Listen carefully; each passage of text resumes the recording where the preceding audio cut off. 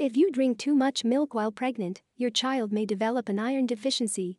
Iron is important for brain development, and a lack of it during this time is linked to big changes in how the brain works.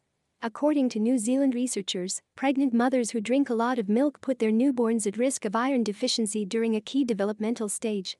According to Xinhua, an iron deficit in babies and toddlers, when the brain is developing fast, is linked to tiny but significant variations in brain function, behavior, and learning, according to a study from the University of Auckland.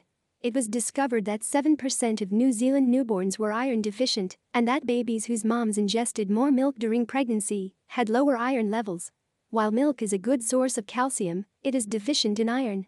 Milk is also extremely filling, which can help to curb hunger for foods that are higher in iron, Cameron Grant, a pediatrician, said in a statement. Pregnant women who are iron deficient are more likely to give birth prematurely or with a low birth weight infant. They're also more likely to be anemic while nursing. Iron deficiency is the most common micronutrient deficiency in the world. Pregnant women and children under the age of 5 are most likely to have this problem. For children aged 6 months to 2 years, New Zealanders are twice as likely to have the disorder as youngsters in Australia, Europe, or the United States. In the most recent survey, done in 2008 to 2009, the number of women of childbearing age who don't get enough iron has gone up from 3% in 1997 to 7%. Grant advised pregnant women who drank a lot of milk to take iron supplements to avoid detrimental impacts on their child's early development.